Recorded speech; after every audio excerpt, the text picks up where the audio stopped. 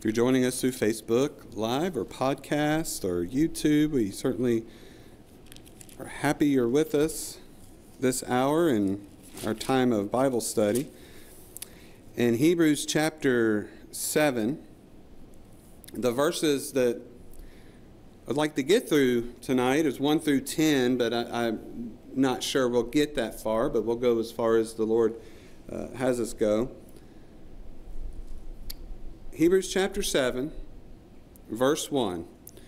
For this Melchizedek, king of Salem, priest of the Most High God, who met Abraham returning from the slaughter of the kings and blessed him, to whom also Abraham gave a tenth part of all, first being by interpretation king of righteousness, and after that also king of Salem, which is king of peace, without father, without mother, without descent, having neither beginning of days nor end of life, but made like unto the Son of God, abideth a priest continually. Now consider how great this man was, unto whom even the patriarch Abraham gave the tenth of the spoils. And verily, they that are of the sons of Levi, who receive the office of the priesthood, have a commandment to take tithes of the people according to the law, that is, of the brethren, uh, that is, of their brethren, though they came, or though they come out of the loins of Abraham. But he whose descent is not counted from them received tithes of Abraham, and blessed him that had the promises. And without all contradiction, the less is blessed of the better. And here men that die receive tithes, but there he receiveth them, of whom it is witness that he liveth. And as I may say so, Levi also, who receiveth tithes, paid tithes in Abraham, for he was yet in the loins of his father when Melchizedek met him. Let's pray. Heavenly Father, we thank you, Lord, for this day. We thank you, Lord, for the fellowship where you have brought us to be with one another, brothers and sisters in Christ. Father, thank you, Lord, for that you hear our prayers and the, the prayers and the love of all of your children. Father, may you bless your word tonight as we open up this portion and search your word diligently. Father, may you just open our hearts and our minds to it. In Jesus' name, amen. So we will be going a little bit deeper tonight with the Melchizedek. I mean, actually, he started the subject of Melchizedek in chapter 5. And if you remember, he had an intermission of, you know, before I go into the deep things about Melchizedek, he encouraged us to spiritually mature. And that was where we kind of left off. It was this long intermission in between those things. But here, the writer, I mean, the writer of Hebrews, when he is bringing up Melchizedek, the Melchizedekian priesthood, and when I say that, that's who I mean, Melchizedekian uh, priesthood. When he brings him up as the king, he is comparing his priesthood with Jesus' priesthood and then Levi, the Levitical priesthood. So when I say Levitical priesthood, I'm talking about Levi who was one of the 12 children of Israel. And the, the Levites were dedicated to the service of God. The, the sacrifices, the priestly offices were all of Levi, of the 12 children. So when I say Levitical priesthood, that's, that's what I'm talking about. I may even call it the, the order of Aaron. Uh, so bringing those kind of two things up, but when he's bringing up Melchizedek in here, I, I believe he's wanting to explain the, that there is a difference in the eternal versus the temporary, and to give confidence and hope to not just the Hebrews, but to us of Jesus Christ's priesthood. Now, you remember back in chapter, actually, all the way back in chapter uh, 2, he, at the end of it, you don't have to turn there, but he had talked about Jesus being our faithful and high priest and things containing to Jesus. Now, we need this common thread as we go back. Now, remember what he was talking about with, with Jesus being in the order of Melchizedek, the priesthood of Melchizedek. He had just in chapter 5, if you look back at verse, let's see, chapter 5, verse 6. As he saith also in another place, Thou art a priest forever after the order of Melchizedek, who in the days of his flesh, when he had offered up prayers and supplications, now he's talking about Jesus, in the days of his flesh, when he had offered up prayers and supplications with strong crying and tears unto him, that was able to save him from death, and was heard in that he feared, though he were a son, yet learned the obedience, he learned he obedience by the things which he suffered, and being made perfect. Now, if you remember, we talked about that. He, he was perfected. The things which Jesus suffered, the things with the obedience which Jesus had, the doing the will of the Lord in perfect obedience, perfect righteousness, and in suffering, he was perfected he became the author of salvation unto all them that obey him. And in verse 10, called of God a high priest after the order of Melchizedek. So, one of the, the thread that we want to go to, now he stopped there. If you remember, he was right in the middle of this thought. And then he stopped and started talking about spiritual maturity. And in chapter 7, verse 1, he picks it right back up with Melchizedek. So, the common thread here that we need to keep in mind is that Jesus qualified to be our great and high priest. He was perfected.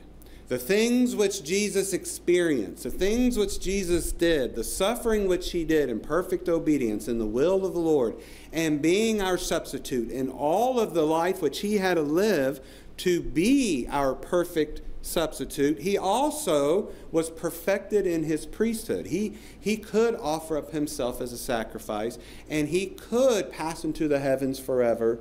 And that is the priesthood which Jesus is after, is Melchizedek. So in verses 1 through 3 of chapter 7, he goes to explain to us Melchizedek, exactly who he was. He, it's kind of a setup and then a delivery.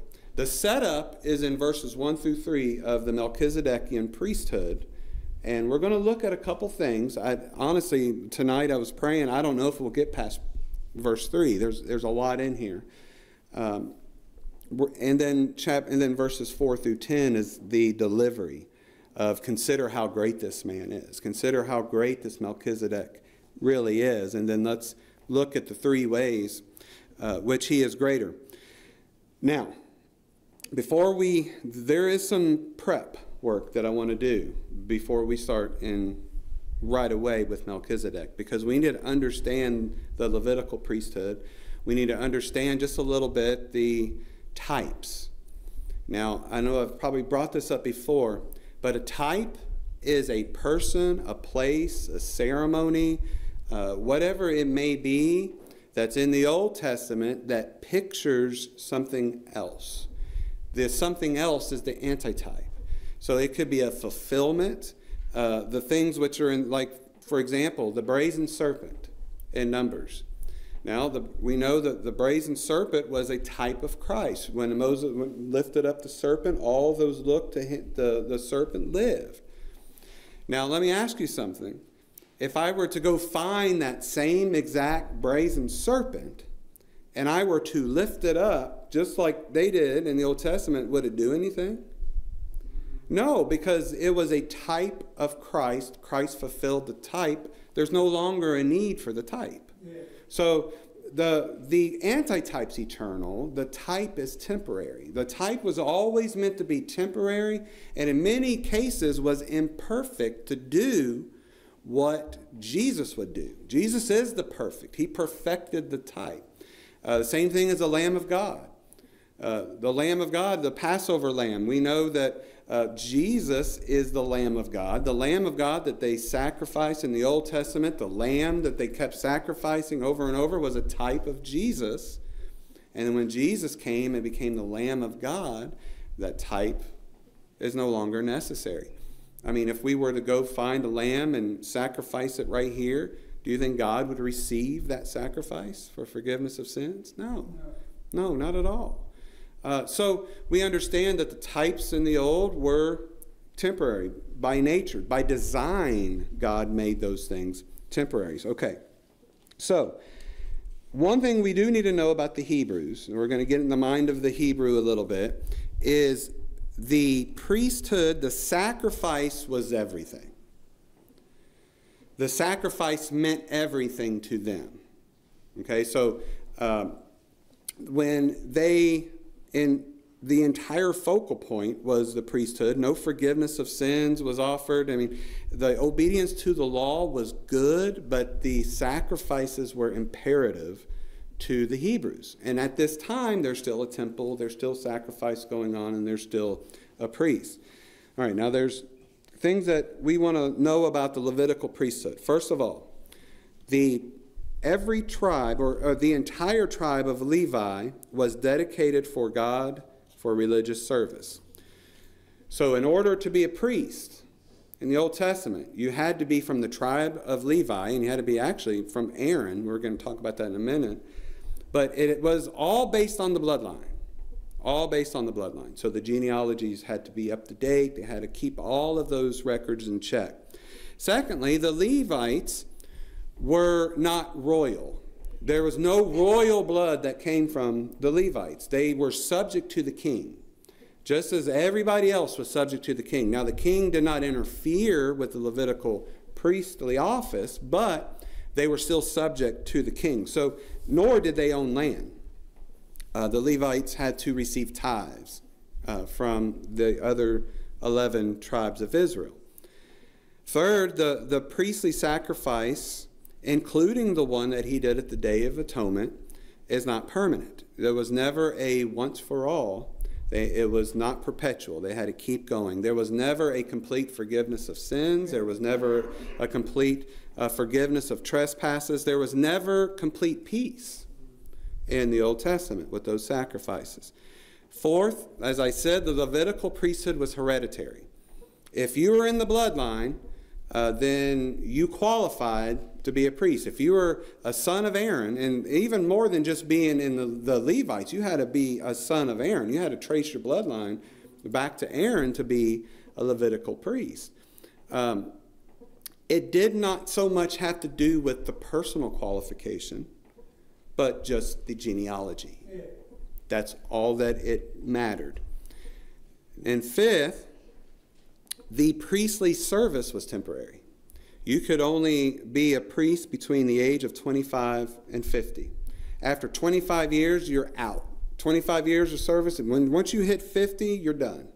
You, you have stopped being a priest. So, remembering that those, that, that'll help us as we start looking in verses 1 through 3, because uh, we want to observe some differences between the Melchizedekian priesthood and the Levitical priesthood. So let's start at verse 1. Now remember, Jesus is the priest after the order of Melchizedek. That's probably the biggest takeaway. Jesus is not a priest after the order of Aaron. He is not a Levitical priest. He was born of the bloodline of Judah from both. I mean, from, well, from Mary particularly, but as the headship, Joseph. Uh, Joseph and Mary were distant relatives, all, both from the line of Judah, the, the kingly tribe. Jesus was not born from the Levitical tribe. And it's actually really good that he was not, because Jesus is never to be a priest after the order of Aaron, after the order of the Levitical priests, because there were issues. And we're getting ready to learn about those. Verse 1 For this Melchizedek, king of Salem, priest of the Most High God, who met Abraham returning from the slaughter of the kings and blessed him. Now, verses 1 through 3 is, is basically a summary of Genesis chapter 14. Uh, turn with me to Genesis chapter 14.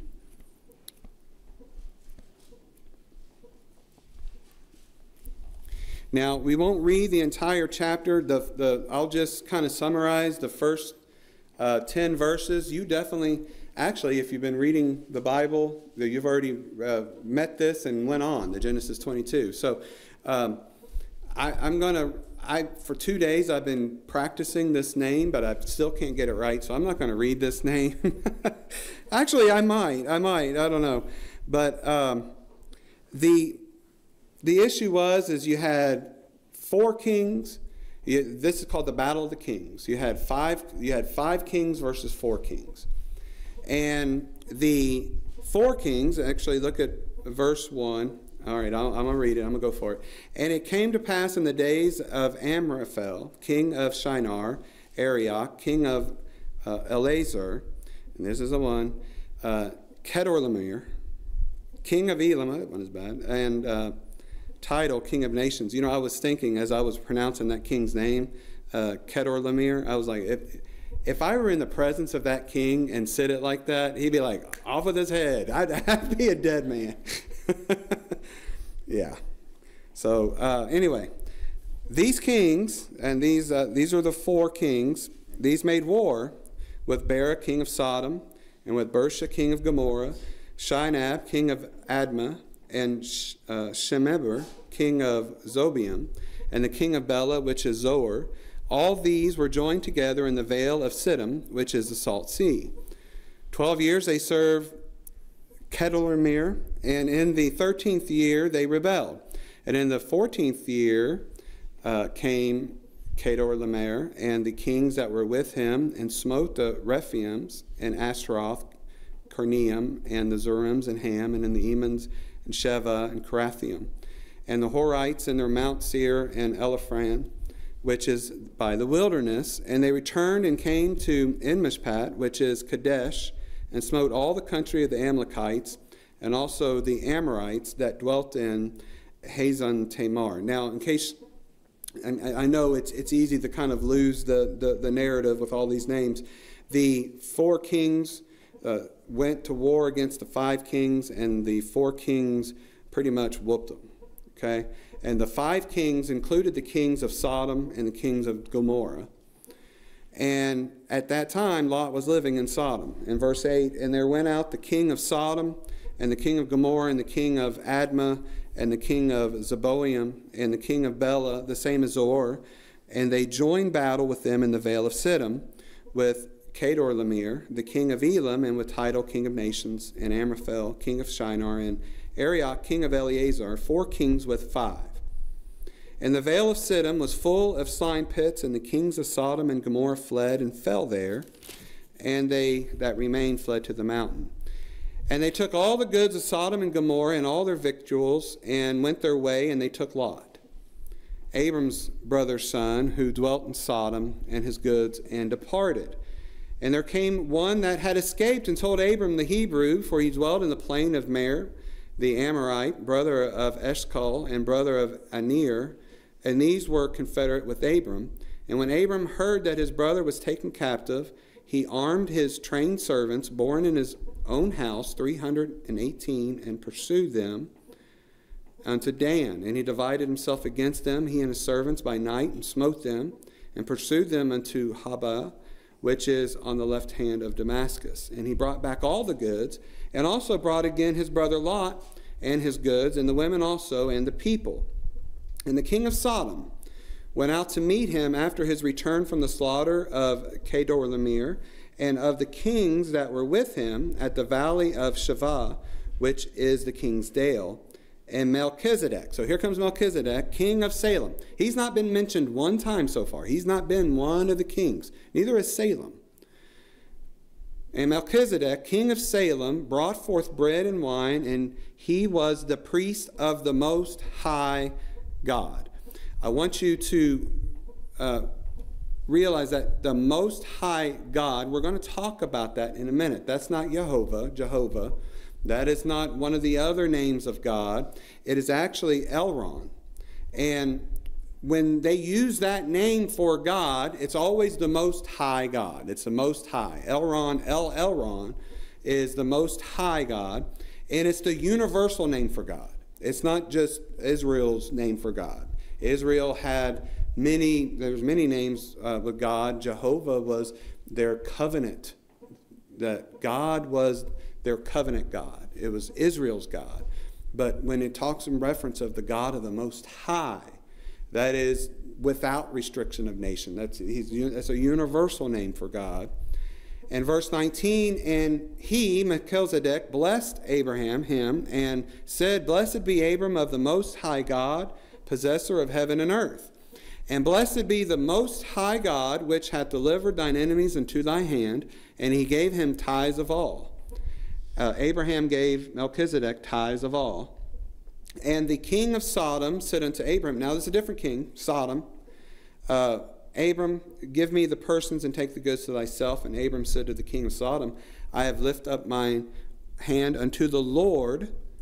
He uses Jehovah there, the Most High God, and he uses El Elyon there, the possessor of heaven and earth.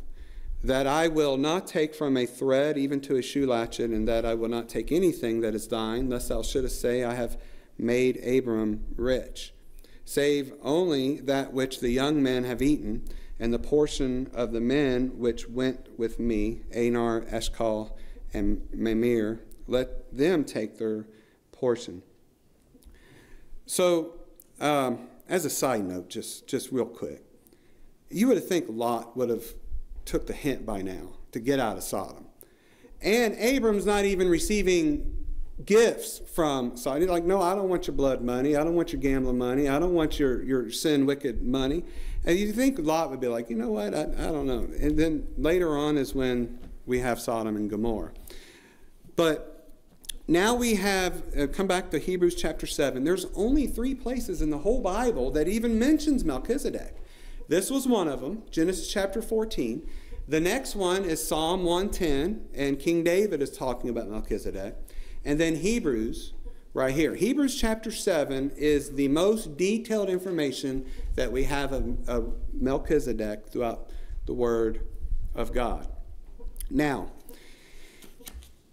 some speculate about Melchizedek because there's such a mystery about him. Uh, there's he was without father, without mother, without descent, having neither of those things. So some speculate and say that Melchizedek was an angel who took on human flesh. But I don't think that it's an angel because what was the requirement of being a priest? Was being human. In chapter 5, verse 1, he says, For every high priest taken from among men is ordained. So that's the first thing. I don't believe Melchizedek is an, is an angel. Uh, some will say that Melchizedek was actually a Christophany, was actually Jesus that had pre incarnate had come and he had dwelt in the flesh, and that was actually Jesus who was Melchizedek. But I don't believe it is Jesus either, because in verse 3, if you look at chapter 7, verse 3 without father, without mother, without descent, having neither beginning of days nor end of life, but made like unto the Son of God. It didn't say he was the Son of God, he was made like unto the Son of God, abideth a priest forever. And the second reason I don't think it's Jesus is because so far he has dealt so much in types that Jesus is the better Moses, he's the better Aaron, he's the, the, the better uh, priest. So we see that him kind of dealing with types so far. I believe Melchizedek was an actual human person who lived in history that God has intentionally kept certain things hidden from us. He's, mm. he's a mystery to us. And it's all about the priesthood. It's not so much about the man, it's about the priesthood. So there's certain things, there's certain gaps. You notice there's no genealogy. We have no record of his birth or his death. So I believe Melchizedek was a man who God had appointed at a time to be all these things just to be the type that would come of Jesus Christ. And God does that all the time, doesn't he? isn't it wonderful that God is a God of details? And everything in your life is a detail that does not escape God's eyes. I mean, uh, I believe I was talking to Sister Harriet a long time ago, and I do this too, and I don't know if you all do this, but if I can't find my keys and I need to leave, I'll pray, Lord, help me find my keys. And I'll find my keys. Or, Lord, uh, help me to remember that I need to do this. Or, or, you know, and just that daily conversation with the Lord. No too small a detail. And, and then you hear people, you know, talking, well, God's too busy to listen to me. And, and these are supposed to be confessed Christians. And, I'm like, that's, that's not a relationship. That, that's, that's, you know, that's not our Lord and our God. I, and I pray for them that they actually do know Him. Um, because he is an ever present help.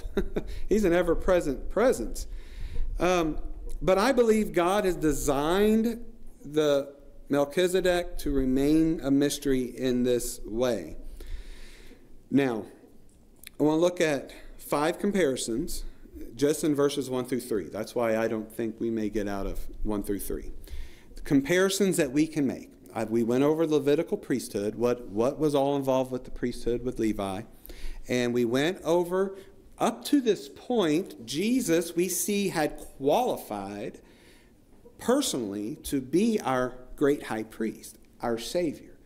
All of the sufferings he went through, the obedience he went through, he qualified to be our Savior. And so, um, verse 1, again, we already talked about that Melchizedek was a king of Salem. We're going to talk about that here in a minute but he was a priest of the Most High God. Now, that El Elyon, as we had said, is a universal name of God, and actually, um, I got that from John MacArthur, and it's interesting because you see that it you see the Most High God in different places in the Old Testament, and he, he just made the observation that this is a universal name of God. The God of the Hebrews, Jehovah, was a God of their nation. And Melchizedek, if he comes in and he says that he is the God of the whole world. Now you got to remember, Jesus is not just Israel's Messiah, he's the whole world's Messiah. He is the one who would come to take away my sins. So he's the entire world. He's a lot bigger than the nation of Israel. Le- the Levitical priesthood was very nation specific. The Levitical priesthood was only Israel, where the priesthood of Melchizedek was outside of the nation of Israel. I mean, he was talking to Abraham, the father of the nation of Israel. So he was definitely outside of that Levitical priesthood, and he uses the Most High God in reference. Now, what does that mean? It means that Jesus' priesthood is universal. Now, significant to the Jews is, is this fact. Here it is bringing up, whom, and that's what it says in verse 1. Look at verse 2. Who, to whom also Abraham gave a tenth part of all.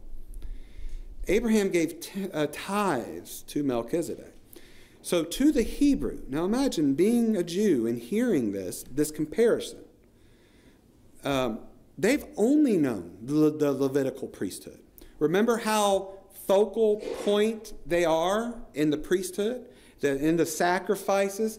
Everything was about the sacrifices to the Jew. Everything, the temple, everything was about it. Like I said, the law was good to obey, but they had to have the sacrifices for the forgiveness of sins. So everything was about the priesthood to the Jew.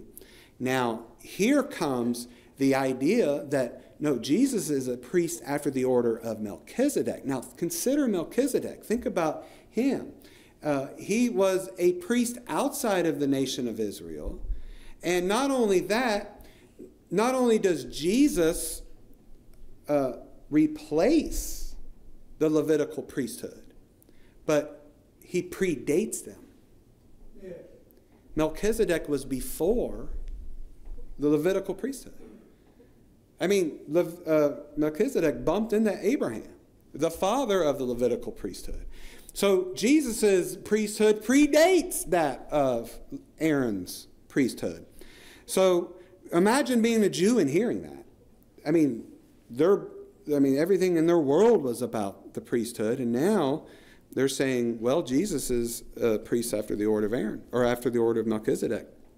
Secondly, Melchizedek was a king, he was a royal priest.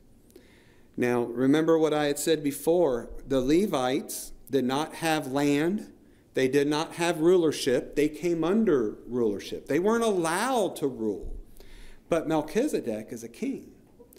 And so that's a big difference between the Levitical priesthood and the Melchizedekian priesthood in the fact that he is both king and priest and typifying Jesus as both king and priest. Now, remember what we had talked about with the genealogy of Jesus. He was born of the tribe of Judah. So he was born in the bloodline of a king. And that is important that he was born of that, that, that bloodline because of prophecy. But Jesus was not born after uh, the priesthood. And so we see that, that his kingship came from Judah, but his priesthood did not come from Levi. It came from the Melchizedekian priesthood. And as we keep going, uh, Jesus uh, uh, typifies our king priest because one, he's our priest, he's our he intercedes for us, and two, he's our king and talks to his lordship. So that was significant. Now, in verse 2, to whom also Abraham gave a tenth part of all. Now, that tenth part is interesting. In the Hebrew, tithe means tenth, it translates to tenth. So, Abraham gave a tenth part, he gave a tithe of all. First, being by interpretation king of righteousness, and after that also king of Salem, which is king of peace. The name Melchizedek is interpreted king of righteousness. That's what the word Melchizedek means, king of righteousness. And, and it says king of, uh, I'm sorry, and after that also king of Salem, which many of you all know means Jerusalem. It also means peace in the Hebrew, uh, Selah, the, the, or Shalom. So king of peace, which is king of peace. So uh, we don't think the significance here is Melchizedek was the king of Jerusalem. The significance here is the Melchizedek, or a pre-Jerusalem, before you know the, the children went in, um, was a king of righteousness and a king of peace. So, what does that mean? The Levitical priesthood, the whole purpose was to present the people to God, but they could never provide righteousness. There was never a perfect uh, peace with the whole system of Levitical priests. And look at chapter 10, verse 1 with me. Chapter 10, verse 1. For the law, having a shadow of good things to come, and not the very image of the things, can never, with those sacrifices which they offered year by year, continually make the comers thereunto perfect, for then would they not have ceased to be offered. Because that the worshippers once purged should have no more conscious of sins. So, and in verse 3, sorry, let me keep going. But in those sacrifices there is a remembrance again made of sins every year, for it is not possible that the blood of bulls and of goats should take away sins. So here we see the Melchizedekian priest was a king of righteousness and a king of peace. The Levitical priest, the, the whole priesthood, not only were they not royal, not only were they not kings, but they could not, with all those sacrifices, they could never produce a lasting, long lasting righteousness or peace. And here we see that's exactly, that's the uh, characteristics of Melchizedek. And also, we saw that the Aaron, the priests after the order of Aaron, had to actually offer their own sin sacrifices uh, for their own sins. Only Jesus Christ. Now, I, I want to say this. We know Melchizedek was a man. He wasn't an angel or he wasn't a Christophany. He wasn't Christ incarnate. He wasn't all of these things. He was still a man. So we know that he had faults just like us, that he was a sinner, just like us. But it was God who appointed the priesthood, it was God who had appointed the type of Melchizedek to be the king of righteousness, the king of peace. We understand that. And Jesus is the antitype, he's a fulfillment of Melchizedek. Uh, and we're going to get in here a little bit. Like I said, it's a little bit deep. I, I, we're we're going to be deep a little bit, but then I want to come back and look at some some some big things that'll encourage you tonight. But as we look at Melchizedek, we need to see that it says that he was the king of righteousness, and after that, the king of peace. Jesus is the only priest king who can provide both righteousness and peace perfectly permanently and forever. The priests after the order of Levi could not do that. they could bring your sins up to the, the sacrifice once a year that you could bring up the sins and they, they would be the mediator between god and or between man and god and then but there was never a completion there was never a fulfillment there was never full righteousness never enduring righteousness never enduring conscience never enduring peace the peace which jesus christ brings he brings because of his righteousness and uh, we are justified by faith. Justified means we've been declared righteous. You know that we are perfectly righteous in the eyes of God, that Jesus has done a perfect work of righteousness, an enduring work of righteousness, and an eternal work of righteousness. It'll never have to be renewed. It's always, always good. And he has imputed that righteousness. That's what justification is, that we've been declared righteous. Being justified by faith, we have peace with God. So Christ's righteousness brought the peace. He's the king of righteousness, and Jesus is the king of peace. Those two things, that's the only way to have peace. True peace must have righteousness. That's it. You cannot have peace with God and not have righteousness. And so we see that Melchizedek was the priest after uh, being the king priest. Now, number three, in verse three, without father, without mother, without descent, having neither beginning of days nor end of life, but made like unto the Son of God, abideth the priest continually. The Levitical priesthood, now if you remember, they solely depended upon genealogy. Now, think about this. Even when it had nothing to do with personal qualification, think about Aaron's sons being the priests. Think about Eli's sons being the priests. There was not a personal qualification. They got the job because of who their dad was. It was a, all about genealogy with the Levitical priesthood. It was only about genealogy. Think about in Nehemiah when they came back to, to build the walls. And uh, I don't exactly remember where it is, but uh, there were many who were trying, who wanted to become priests, but they could not find their names in the genealogy. And they said, Nope, you cannot be a priest. You're not in the line of, of Aaron. You're not in this line.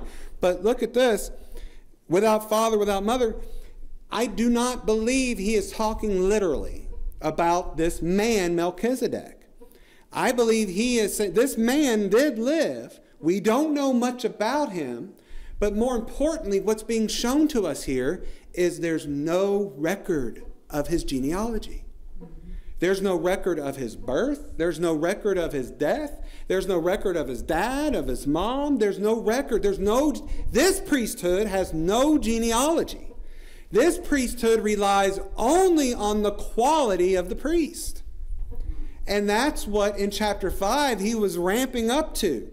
Jesus qualified to be our priest, our great high priest, after all the things he did. And so uh, I believe in verse 3, that's really what he's talking about. And he says, Made like unto the Son of God, which Jesus uh, you know, we know that Jesus pre-existed. He had, when we know he was born. He was the incarnation. But the matter of fact here is what he's saying is Jesus, Jesus had no priestly genealogy, and he didn't need one. The Levitical priests, they had genealogy, but they needed it. I mean, it's all by God's command. It wasn't, you know, it's something that God had them do.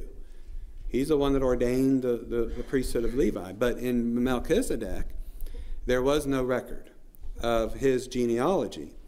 So, of course, uh, Jesus' genealogy, like I said before, of him being of Judah, is very important for prophecy. Um, but we see here that at the end of verse 3, he really hits this these words right here at the end of verse 3 is really a sustained theme throughout the rest actually he's going to talk about we're going to be talking about melchizedek for a few weeks because it's chapter 7 chapter 8 uh, and then uh, it goes on from there but he really is bringing out like i said at the very beginning this idea and this concept that he is a priest continually It, it's eternal priesthood. It does not change. It does not, he does not cease. He does not have a term of office. It is continually. He does not die. And so did Melchizedek didn't either. According to our records, he did not die. So, Melchizedek's priesthood is eternal, not temporary. Uh, like we had said, it was 25 years. Uh, they only had 25 years. So, look at verse 24 with me, and then we'll be done.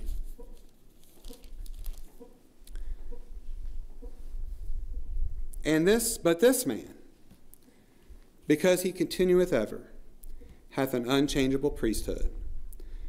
Wherefore he is able also to save them to the uttermost that come unto God by him, seeing he ever liveth to make intercession for them. For such an high priest became us, who is holy, harmless, undefiled, separate from sinners, and made higher than the heavens who needeth not daily as those high priests to offer up sacrifice first for his own sins and then for the people's. For this he did once, when he offered up himself. For the law maketh men high priests which have infirmity, but the word of the oath, which was since the law, maketh the Son who is consecrated forevermore. Isn't it beautiful? It's beautiful the way that the writer of Hebrews, the Lord had brought out to these Hebrews, to the Jews, and to us today, the comparisons, just the observable comparisons, is what we saw. In verses 4 through 10, he's actually going to bring out three ways himself of how the Melchizedekian priesthood is greater than the priesthood after the order of Aaron. But what we looked at today is Jesus is the priest after the order of Melchizedek. His priesthood is universal. It's not just the nation of Israel, it's all. His priesthood is royal. He is the king priest. His priesthood, eh, he is the, the king of righteousness and he is the king of peace. And he's qualified. Jesus did not become our priest through genealogy like those of Aaron, but he qualified himself. He perfected himself to be our faithful and high priest. And last, he's eternal not like the Levitical priesthood, uh, not just he himself, but also the sacrifice is eternal, which Jesus made. All right, let's pray. Heavenly Father, we thank you, Lord, for this day. Father, thank you for your word, how rich, how wonderful it is. Father, we, we thank you that our Savior is so gracious, so wonderful, and is our high priest whoever lives to make intercession for us, how he's continually in your presence and in the throne room. Father, thank you, Lord, for the study which we've had tonight to look into this, to see that he has an unchanging priesthood and and Father, the differences between the types that you gave in the Old Testament that all point to our Lord and Savior. And in him we trust. And thank you, Father. In Jesus' name, amen.